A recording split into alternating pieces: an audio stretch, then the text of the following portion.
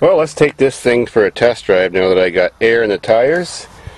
Uh, the windows rolled down, it's not so hot in here, got some garbage all cleaned out. Well, it's even got the step side seats, whatever you call them. See what she's like. Does run sweet.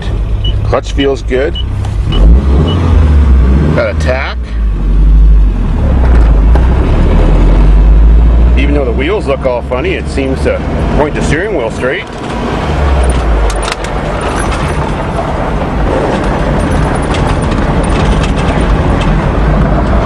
Audience. But there is one problem with this thing. I'll have to show you why it's sitting so funny. I'm gonna need some help with a part.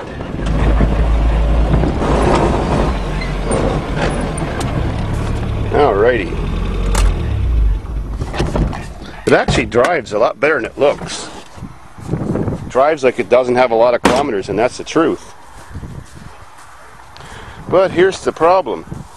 The reason it's sitting down so low on that side is this has torsion bar front suspension because it's four-wheel drive, and it's missing a torsion bar. You see, way back there, that's a piece of a torsion bar that's broke off. There's what the other one's supposed to look like. You know, it's good. And there's where it mounts.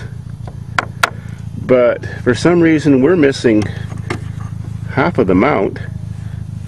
And of course the whole torsion bar looks easy enough to replace. You just unbolt it and clamp it in here. But because this is such an old car, you can't find nothing like this in Canada.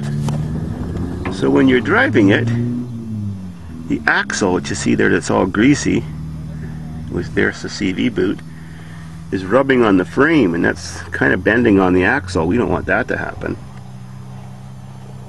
So if anybody's got a torsion bar for that side of the vehicle, this is an 84 Nissan 4x4 truck, let me know.